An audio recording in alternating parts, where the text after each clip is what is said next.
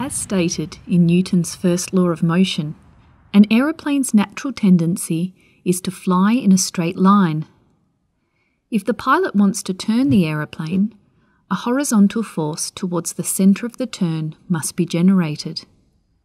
To keep the aeroplane turning, this horizontal force must continually act on the aeroplane's body.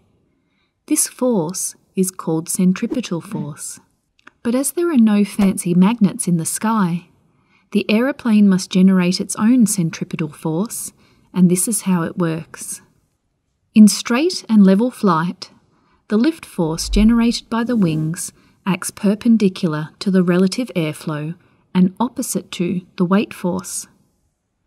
When the aeroplane banks to the side, the lift force tilts to the side with the aeroplane.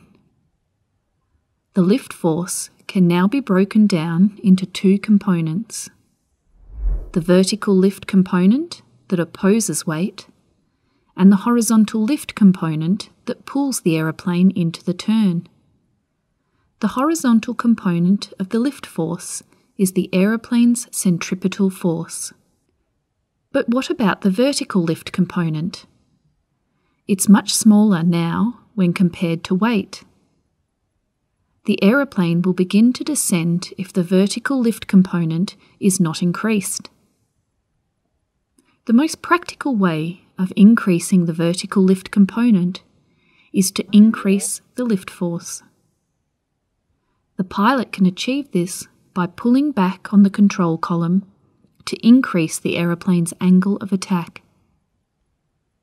When turning, the aeroplane's load factor and stall speed increase.